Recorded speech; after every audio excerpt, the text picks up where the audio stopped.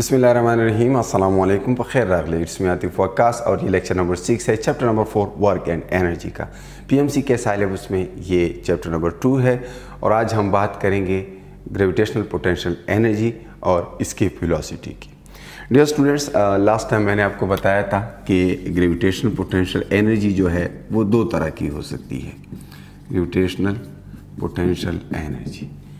और इसमें एक तो है रिलेटिव और दूसरी है एब्सोल्यूट तो रिलेटिव पोटेंशियल एनर्जी को थ्रू आउट हमने प्रीवियस लेक्चर्स में रेगुलरली डिस्कस किया. That is M G H जबकि एब्सोल्यूट पोटेंशियल एनर्जी थोड़ा सा मैंने लेक्चर नंबर थ्री और लेक्चर नंबर फोर में इसके ऊपर बात की थी शायद, लेकिन आज हम उसको भी डिस्कस करेंगे और साथ में फिर ये देखेंगे कि अगर आप किसी ऑब्जेक्ट को अर्थ की ग्रेविटेशनल फ़ील्ड से बाहर निकालना चाहते हैं तो उसको कितनी एनर्जी चाहिए होती है और क्या तरीका कार है तो absolute potential energy actually absolute gravitational potential energy की बात कर रहा हूँ। तो इसका मतलब ये है कि the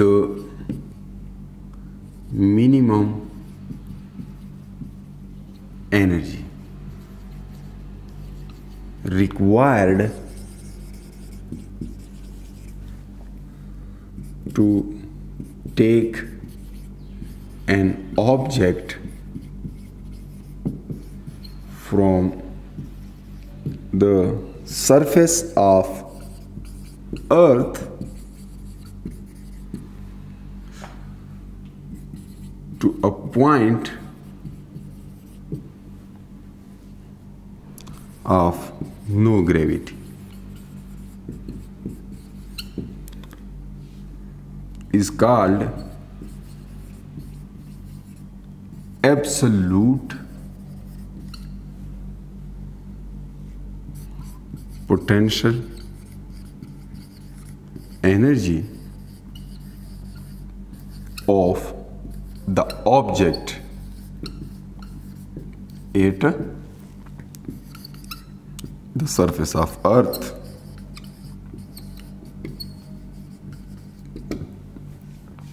यानी किसी ऑब्जेक्ट को अर्थ की ग्रेविटेशन फ़ील्ड से बाहर निकालना है। कहाँ से उठा के अर्थ की सरफेस से उठा के फॉर एग्ज़ाम्पल ये अर्थ है। इसकी सरफेस पे कोई ऑब्जेक्ट पड़ा हुआ है। इसको आप इस सरफेस से उठाकर किसी ऐसे पॉइंट पे ले जाते हैं जहाँ पर ग्रेविटी ज़ीरो होती है। और चूँकि आप जानते हैं कि ग्रेविटेशनल फ़ील्ड जो है वो इन्वर्स स्क्वायर ला को ओबे करती है आउटसाइड द अर्थ अगर आप इसको चेक करें तो it is one by R square तो आर की ऐसी कौन सी वैल्यू मैं पुट करूँ कि जिससे जी ज़ीरो आए?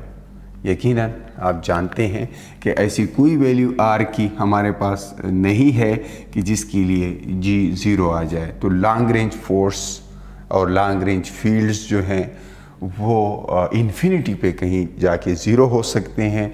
तो जहाँ पर जी ज़ीरो है, उस पॉइंट को मैं कंसीडर करूँगा कि वो इतना दूर है कि सेंटर से इनफाइनाइट डिस्टेंस के ऊपर पड़ा हुआ है। थिरेटिकली हम इस तरह लिखेंगे।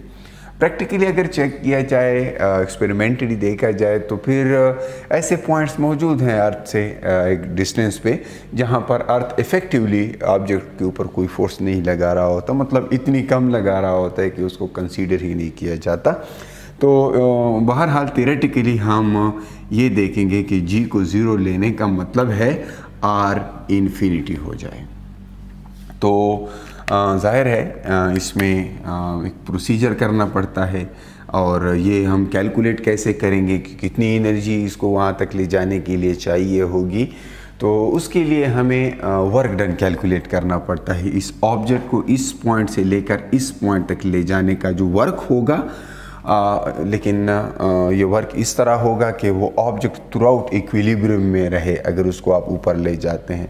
अब मसला ये है कि अगर मैं इस ऑब्जेक्ट को डायरेक्ट यहाँ से उठाकर यहाँ पे ले जाऊँ तो इस दौरान मुख्तलिफ़ लेवल्स आ सकते हैं। हाइट की मुख्तलिफ़ वैल्यूज़ होंगी आर की मुख्तलिफ़ वैल्यूज़ होंगी। और थ्रू आउट फिर वो फोर्स कांस्टेंट नहीं रहेगी, क्योंकि वो फोर्स जो है यहाँ पर जो फोर्स लगेगी ग्रेविटेशनल फोर्स है, मैं यहाँ पे लिख लूँ that is G capital times mass of Earth capital M से मैं शो कर रहा हूँ multiplied with mass of the object object का मास मैं स्मॉल एम से शो कर रहा हूँ and that divided by R square now R जो है, वो सेंटर से, उस पॉइंट तक का डिस्टेंस है जहाँ पर ऑब्जेक्ट है। अब ऑब्जेक्ट अगर यहाँ पे है तो उसका आर जो है कैपिटल आर यानी रेडियस ऑफ़ अर्थ जितना है। लेकिन अगर मैं उसको ऊपर उठाता हूँ तो आर चेंज होता है। जब आर चेंज होता है तो फोर्स चेंज होता है। तो इसका तरीका ये होता है कि हम उस पूरी पाथ को छोटे छोटे पेचिस में डिवाइड कर देते हैं। और बजाय ये टोटल वर्क कैलकुलेट करने के, यकमुश्त कैलकुलेट करने के लिए, इकट्ठा फाइंड करने के की बजाय हम क्या कर लेते हैं? उन छोटे छोटे पेचिस के लिए वर्क कैलकुलेट कर लेते हैं। उस, और फिर उन सारे वर्क्स को, चूँकि वर्क एक स्केलर क्वांटिटी है, उनको आपस में ऐड कर देते हैं और हमें टोटल वर्क मालूम पड़ जाता है। और उस टोटल वर्क को फिर हम मान लेते हैं कि जी यहाँ से यहाँ तक ले जाने में टोटल जो वर्क हुआ है, यही असल में उस ऑब्जेक्ट की बाइंडिंग या पोटेंशियल एनर्जी थी जिसके साथ वो अर्थ के साथ कैद था। ठीक है?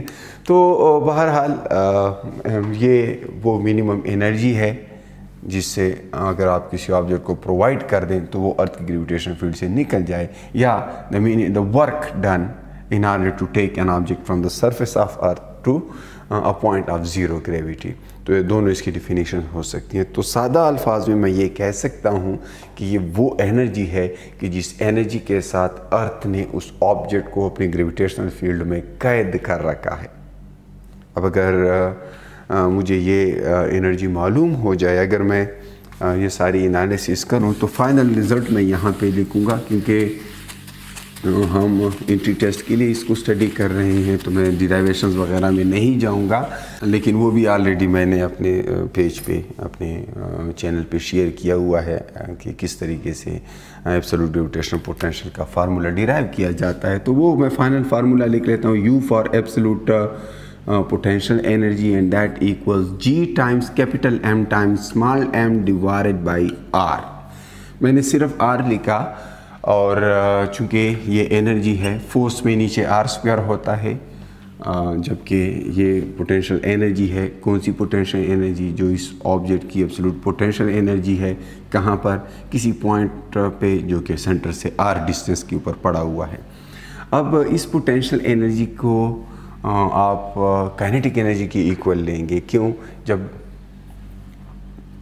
अब अगर आप चाहते हैं कि ऑब्जेक्ट सरफेस ऑफ़ अर्थ पे पड़ा है तो स्मॉल आर की जगह हम कैपिटल आर लिख सकते हैं। सरफेस ऑफ़ अर्थ पे ये हो जाएगा G times capital M times small M divided by capital R that is for radius of Earth now if I want to eject the object from from of Earth मैं उसको escape velocity देना चाहूँ। Escape velocity वो velocity होती है। Escape velocity that is इसको मैं थोड़ा सा सही लिख लूँ। Escape velocity is the minimum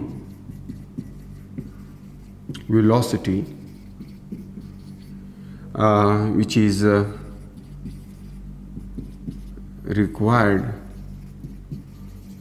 by a projectile किसी प्रोजेक्टाइल के लिए जो ज़रूरी होती है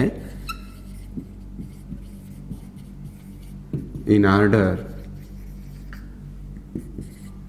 to get out of the gravitational field of Earth अगर किसी ऑब्जेक्ट को आप ये वेलोसिटी प्रोवाइड कर दें स्केप वेलोसिटी तो वो अर्थ की ग्रेविटेशन फ़ील्ड से बाहर निकल जाएगा। अब इसके लिए ज़रूरी है कि हमें ये एनर्जी मालूम हो, तभी हमने ये डिफ़ाइन किया है। क्योंकि अगर मुझे ये मालूम है कि ये किस एनर्जी के साथ कैद है तो मैं इतनी एनर्जी देकर इसको आज़ाद कर सकता हूँ। इसलिए मैथमेटिकली डिराइवेशन मैं कैसे करूँगा? मैं काइनेटिक एनर्जी दूँगा उस ऑब्जेक्ट को, जो अर्थ की सरफेस पे पड़ा है, और उस ऑब्जेक्ट को मैं ग्रेविटी से निकाल बाहर करने के लिए उतनी काइनेटिक एनर्जी दूँगा। काइनेटिक एनर्जी ये इस्केप की काइनेटिक एनर्जी होगी। दैट इज़ पोटेंशियल एनर्जी जो है एब्सोलूट तो एब्सोलूट पोटेंशियल एनर्जी और काइनेटिक एनर्जी इसके आपस में बराबर होंगे। हमें पता है कि kinetic energy half M V square होता है। मैं साथ में ई एस सी स्केप के लिए रिप्रेजेंट करूँगा। यहाँ पर मैं लिखूँगा G times capital M times small M divide by capital R now I am assuming that object to be at the surface of Earth and I want to eject it outside the gravity now V escape square that equals G times M ये small M दोनों side पे है तो इसको तो cancel किया जा सकता है। टू उधर जाएगा मल्टीप्लाई होगा डिनोमिनेटर में आर है तो आपके पास वी स्केप के लिए एक फार्मूला आ जाता है two capital G capital M divided by R that is the formula for escape velocity इसमें आपको तीन चीज़ें नज़र आ रही हैं। G that is universal constant हर जगह कांस्टेंट रहता है सेम और इसकी वैल्यू आप जानते हैं, अगर नहीं जानते, मालूम होना चाहिए. 6.67 point six seven into ten minus eleven newton metre square per kilogram square ये कैपिटल जी है.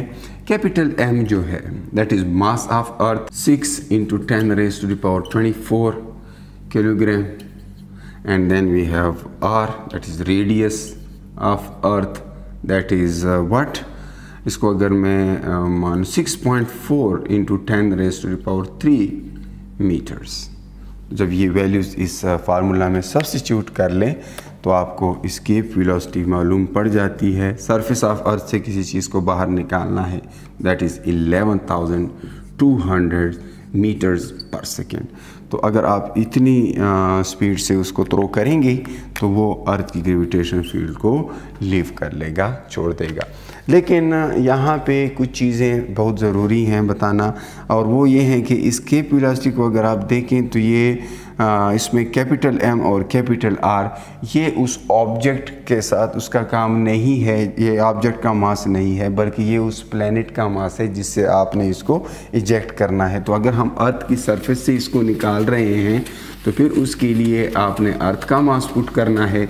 अगर आप उस ऑब्जेक्ट को मून की सरफेस से थ्रो करके बाहर फेंकना चाहते हैं तो अकॉर्डिंगली आपने उसका फार्मूला लिखना है। मैं इसको थोड़ा सा मज़ीद चेंज करूँगा, चूँकि हम जानते हैं कि F इक्वल्स एम जी ये वो फोर्स है जो अर्थ किसी ऑब्जेक्ट के ऊपर लगाता है। G is the strength of gravitational field ये वेट भी है। तो यही फोर्स अगर मैं इसके इक्वल कर लूँ gravitational interaction between mass and the Earth तो ये हमारे पास इस तरह की फॉर्म में आ जाता है। तो यहाँ से आपको पता है कि स्मॉल जी की value G capital times M divided by square of R ये है। ठीक है? तो यहाँ से ये पता चल जाता है, अगर आर दोनों साइड पे मल्टीप्लाई किया जाए तो G capital R is equal to G capital M divided by capital R and ये मैंने इसलिए लिखा क्योंकि यहाँ पर G capital times capital M divide by capital R ये मौजूद है तो इसकी जगह मैं ये लिखना चाह रहा हूँ।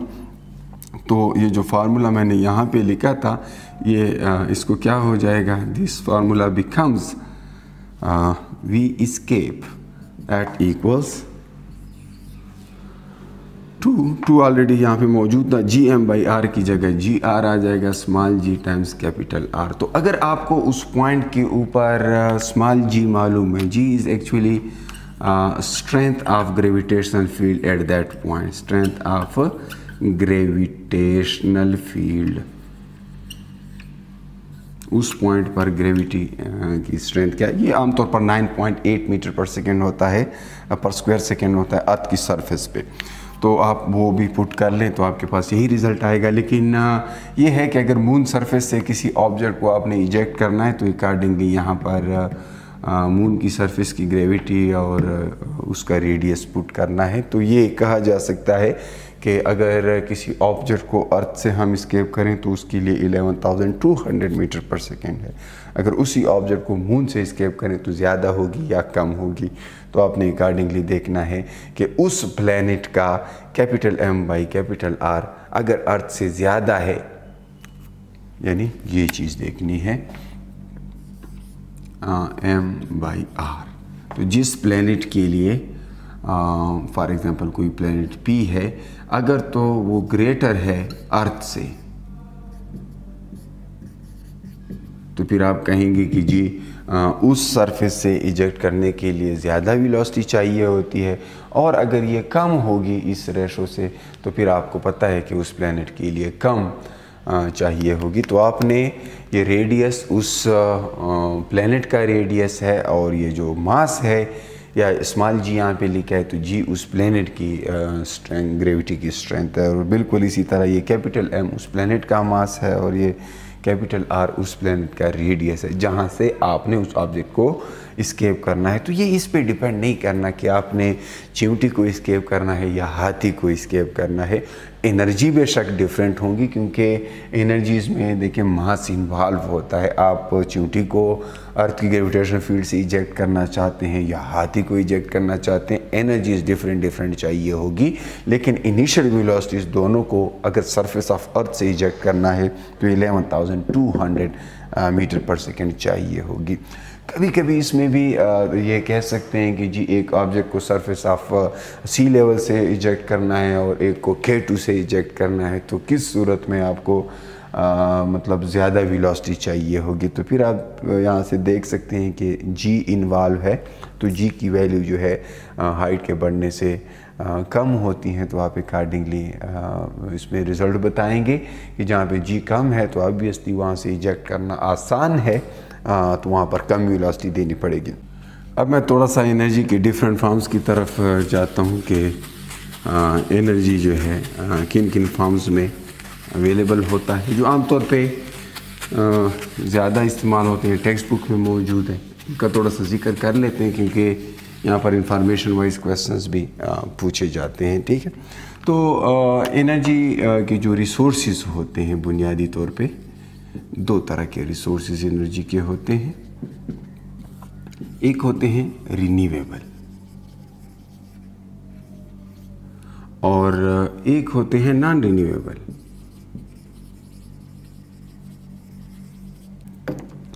so renewable energy के अंदर जो है uh, वो फिर इसमें energy from biomass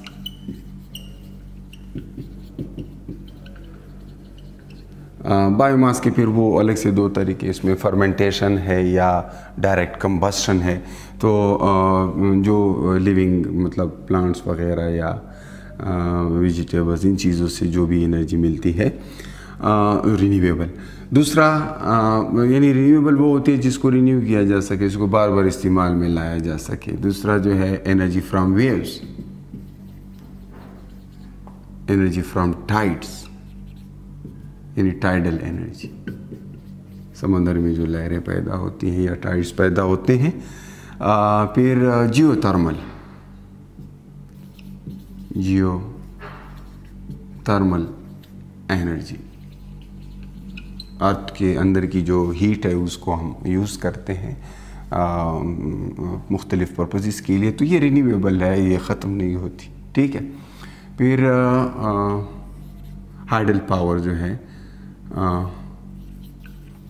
hydel energy water से रिलेटेड यानी डैम्स होते हैं, वहाँ से ऊपर से पानी गिरता है, उसकी पोटेंशियल एनर्जी कैनेटिक में कन्वर्ट होती है, वो आगे टर्बाइंस वगैरह को चलाती है तो ये भी एक तरह से एनर्जी का रिसोर्स है और ये रिन्यूएबल है। इसे पानी ऊपर से नीचे गिरता है, उसे आगे ये परवाह नहीं है कि कोई इस एनर्जी को इस्तेमाल कर रहा है या नहीं है so these are renewable energy resource now there are non renewable energy resource और वो जो हम फ्यूल्स कंज्यूम करते हैं फॉर एग्ज़ाम्पल इसमें आ जाता है ऑयल हैं गैसेस हैं, और पेट्रोलियम वगैरह सारे आज उसमें आ जाते हैं। हाँ तो ये इस तरह की एनर्जी रिसोर्स इसको एक दफ़ा आप इस्तेमाल करें तो दोबारा से इनको रिसाइकिल नहीं किया जा सकता। हाँ सोलर उसमें याद आ गई है, वो रिन्यूएबल है सोलर एनर्जी इस तरह हम कोशिश में हैं कि ज़्यादा से ज़्यादा ऐसे रिसोर्स पैदा किए जा सकें जिसको रिसाइकल करके दोबारा से इस्तेमाल किया जा सकता है। तो क्योंकि ज़ाहिर है एनर्जी रिसोर्स जो हैं वो लिमिटेड हैं और इंसान बढ़ रहे हैं। इंसानों की तरक्की के साथ साथ एनर्जी का की कंजम्पशन भी बढ़ रही है। तो हमारी हमेशा से ख्वाहिश है कि हमें ऐसे रिसोर्स मिले जिनको बार बार इस्तेमाल किया जा सके। सो so, ये कुछ केस इसमें एक और भी है कोल भी हो सकता है। अगर आप देखें कोल कोल भी एक एनर्जी का रिसोर्स है लेकिन ये एक दफ़ा कंज्यूम हो जाए तो दोबारा से इसको रिसाइकल नहीं किया जा सकता। तो ये आपको याद हो टेक्स्ट बुक देखें के पी की या पंजाब की या कोई भी वहाँ पर इंड इंड ऑफ़ चैप्टर में सबका ज़िक्र है, इसको थोड़ा सा रीड कर लें। इंफॉर्मेशन वाइज ये आपको मालूम हो कि भाई यहाँ पर पाकिस्तान में कौन से जो है एनर्जी रिसोर्स यूटिलाइज होते हैं, कौन से कितने हैं एटलीस्ट इंफॉर्मेशन वाइज ये आपको मालूम हो। नेक्स्ट जो है इस चैप्टर के कुछ एम का एक लेक्चर मैं करूँगा। इसमें पूरे चैप्टर के हर टॉपिक से एक अदू के एम आएँगे और फिर हम फिफ्थ चैप्टर पे मूव करेंगे। तब तक के लिए आप अपना बहुत सारा ख्याल रखिए। तो अल्लाह पामान।